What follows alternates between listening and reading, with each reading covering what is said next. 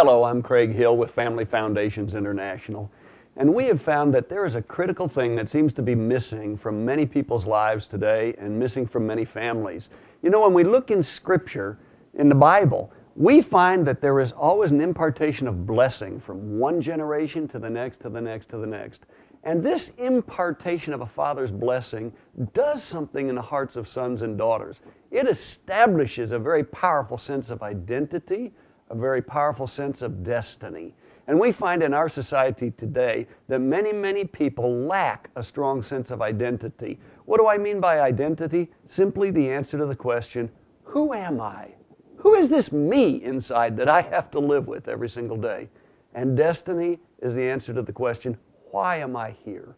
What's my purpose? Do I have a purpose? Or am I just taking up air, food, and water on a planet for a certain number of years and then I die? Many people feel that way and they actually spend a lifetime searching for answers to those questions. You know, I find that uh, in, in the ancient Hebrew society that we find in the Bible, very few people struggled with those questions Who am I and why am I here? And the reason that is, is there was a powerful impartation that came from God that came through a father through a mother, touched the hearts of sons and daughters, and settled those questions Who am I and why am I here? And as a result of that, people could live in their adult life out of a secure sense of value, a secure sense of I know I'm loved, I know I'm valuable, I know I'm, I'm supposed to be here. I know I have a purpose. I know I'm unique. There's something that only I can do on this planet that nobody else can do because God put me here with a purpose.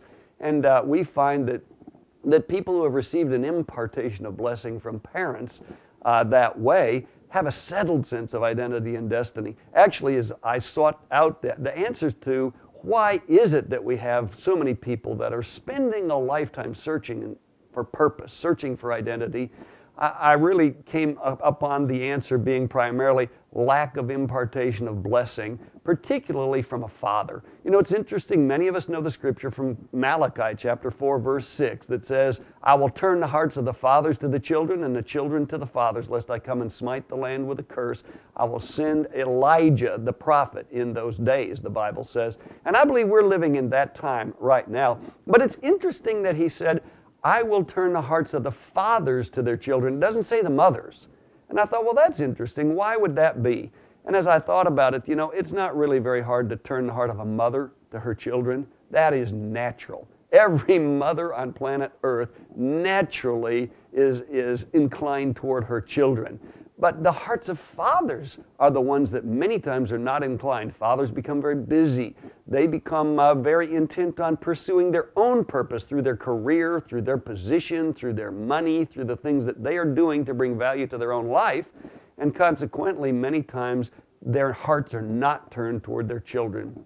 And as a result of that, uh, many children in the depths of their heart feel abandoned. And as they grow up in life, there's never been an impartation that came from God through a father that said, I love you, you're valuable. As a matter of fact, one of the most powerful impartations I've ever seen uh, was when an 87 year old father got a revelation that he had never blessed his son and actually was arranged through the grandson to invite his grandfather to come and bless his son on the son's 65th birthday. Now, that's a little late. I, I, would suggest doing that a little earlier than your son's 65th birthday.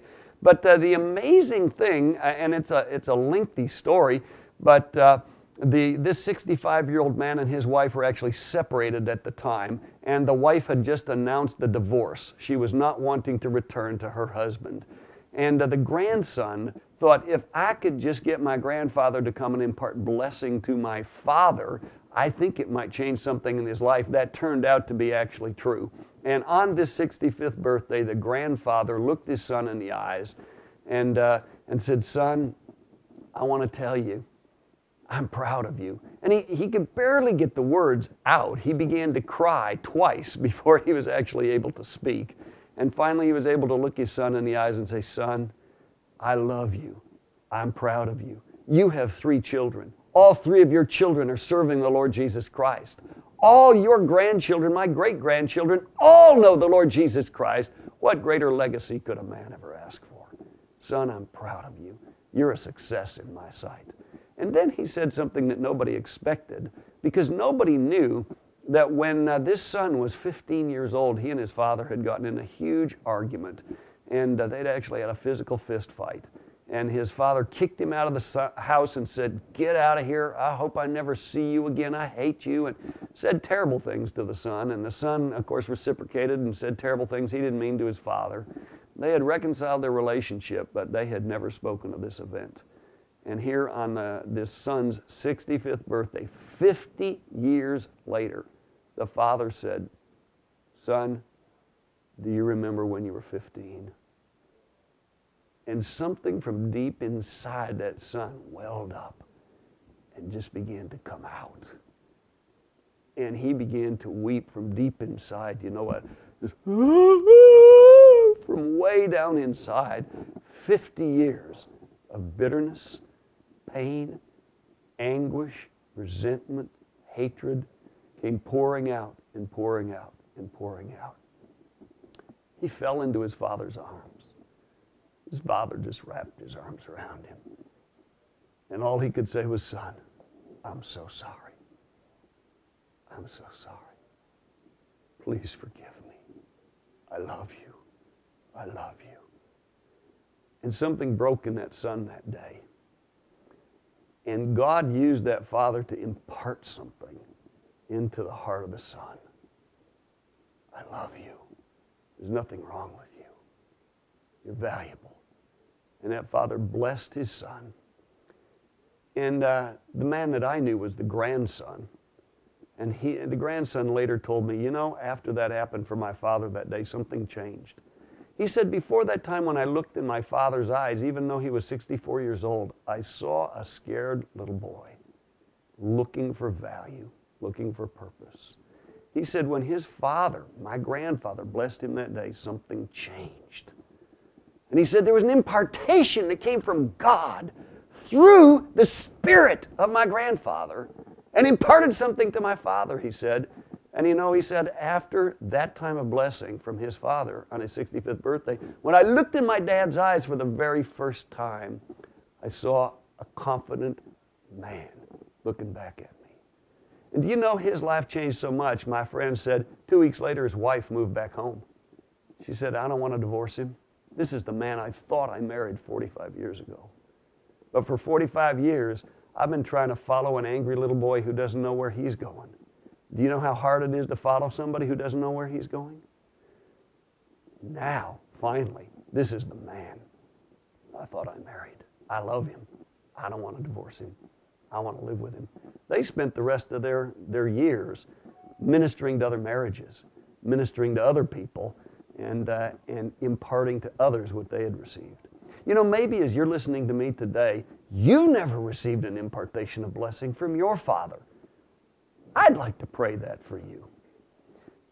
You know, for many of us, it wasn't because our fathers were evil. It wasn't because our father intentionally wanted to wound us, but many times it was simply because our father was unavailable. For some of us, perhaps your father died when you were young, so he simply wasn't there. Perhaps there was a divorce in your family and you grew up with your mother. Your father simply wasn't there. There was no way he could bless you. Or perhaps you're one of those whose father was there, but he was silent. Or perhaps he had so many problems and so much pain in his own life that all you received was anger and wrath. Maybe all he ever told you are the things that you did wrong. He never told you what you did right. And so when you think back about your own growing up years with your dad, there's a longing in your own heart. I wish my dad would have said those words to me. I wish my dad would have said, I love you. I'm proud of you. But he never did. You know, your heavenly father may, may not be in the room where you are right now. Pardon me, your earthly father may not be in the room where you are, but your heavenly father is right there with you. And I believe he has many things that He wants to say to you. And I would like to just pray a blessing over you. And as you listen to my words, I want you to not just hear my words, but I want you to open your heart right now and listen to your Heavenly Father. Do you know that your Father in heaven wanted to say things through your natural father. But as, as, it, as it is for many of us, perhaps that particular pipeline was blocked. And your father was not able to be that conduit of blessing from your heavenly father. But I want you to listen to these words today. And I want you to receive what your heavenly father says about you. So I'd like to pray for you right now. Father, I pray for your son. I, am going to pray, if you're a son, I want to pray separately for a son and then a daughter. So if you're a son, you listen to these words. Father, I pray right now for your son. Father, I thank you for, the, for that son. I want you to know this day you're not a little boy. You're not foolish. There's nothing wrong with you. You're a man. You're a man of God. You're a man of virtue. You're a man of wisdom. You're a man of integrity. God chose you and put you on this planet. Maybe your parents didn't expect you, but God planned for you for thousands of years and put you on this planet at just the right time. Son, there's a gifting and an anointing on your life that nobody else has. You're absolutely unique. And this day I declare over you, you're loved, you're blessed. Your Heavenly Father says, My son, my son, I love you. I bless you. And you can expect to prosper in all you do because you're inextricably connected by covenant to the God of Abraham, Isaac, and Jacob if you have received the Lord Jesus Christ and committed your life to Him. The favor of God is on your life. And this day I bless you and I declare over you may you be blessed when you go out, may you be blessed when you come in. May your business be blessed, may your ministry be blessed, may your marriage be blessed, may your children be blessed. May your health be blessed. May everything you set your hand to be blessed in the name of Jesus. And if you're a daughter, I declare over you, my daughter. Your father says, My daughter, you're beautiful. You're beautiful. Not only on the outside, on the inside. Nothing wrong with you. I created you. Again, perhaps your parents weren't expecting you, but God, your Father, says, even though your mother only carried you for nine months in her womb, I carried you for thousands of years in my spirit. I love you. Just the right time I put you on this earth. And your father said, You're a woman of virtue. You're a beautiful woman. You're a woman of integrity. You're a woman of honor. And your heavenly father says, Nothing that was done to you by any man is a statement about who you are. Your father said, You are who I say you are. Perhaps men sinned against you. Perhaps somebody hurt you very deeply. But your Heavenly Father says, it does not change who you are. You're my daughter. You're not spoiled. You're not ruined. Nothing wrong with you. You're my daughter. I love you. This day, I pray blessing over you. And I declare over you that if you have accepted the Lord Jesus Christ, you are inextricably connected by covenant to the God of Abraham, Isaac, and Jacob, and because of that, you can expect your life to be blessed. You can expect your marriage to be blessed. Your marriage shall be blessed, and your children shall be blessed. Your grandchildren shall be blessed to a thousand generations. May you be blessed when you go out, when you may, may you be blessed when you come in. May your bedroom be blessed, your kitchen be blessed. May the work of your hands be blessed. May everything you set your hand to be blessed. I declare blessing over your physical health, over your finances, and over your relationships. I declare over you this day, you're not a little girl anymore. You're a grown woman, a woman of God, blessed by your Father. And I declare over you this day, your Heavenly Father says, I love you. You're my daughter. I bless you this day in Jesus' name. Now, I encourage you, when this video finishes, would you just close your eyes and you take just a couple more minutes to ask your Heavenly Father, Father, what else would you like to speak directly to me? Who am I in your sight? What do you say about me? And allow Him to speak to you directly. The Bible says we're his sheep, we hear his voice. That's true. You can hear from your Heavenly Father directly. Just listen to Him. We have a lot of materials and more information on receiving blessing and giving blessing on our website, familyfoundations.com. I encourage you to go to that website. Again, it's familyfoundations.com.